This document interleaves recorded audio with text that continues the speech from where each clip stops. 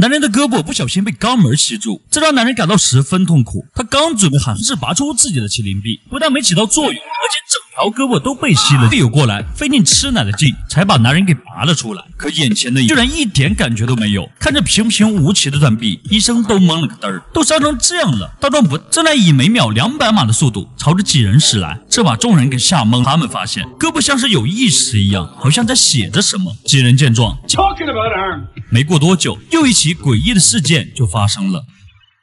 我的天呀！眼球居然差点离家出走，这一然后再揉了揉，乖的，眼球居然又跑到了另一边，好在没多久来到打印机前，用 A 四纸打印出了一把白银手枪，晃晃悠悠，浑身开始不停的抖动，咔哧倒在了地上，跳起了机械舞，恶心。而男人也当场领了盒饭，我的天呀！这把队友的脸都吓白，极度短缺，甚至为了一桶老坛酸面都能发生核战争。唯一能阻止战争的，只有空间站的另一个空间。这时他们想起了那个手臂，根据手臂。的提示，竟然找了一个定位装置，然后洗干净后安了上去。我的单手直接被吸在了铁墙上。只要是银质的物品，液体金属也有了动静。此时的大壮一脸的懵逼，朝着墙壁慢慢的走去。起来，大火瞬间吞噬了整个空间站，并且炸出了一个小洞。大肛门的破裂，